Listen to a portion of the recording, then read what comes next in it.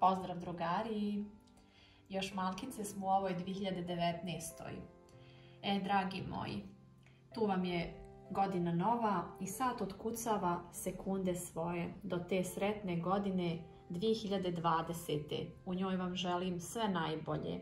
Zdravlje, sreću, ljubav, mir, blagostanje i da ova godina bude ono najbolje da ostvarite svoje želje i svoje snove da živite sretno, zadovoljni, puni ljubavi, razumijevanja, sloge.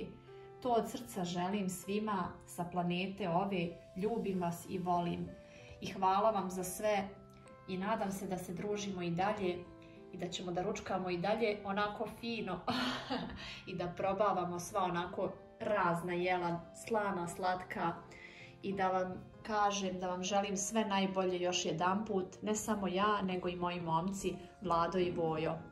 Hvala vam za sve i uživajte u novogodišnjoj noći i ostvarite svoje snove u 2020.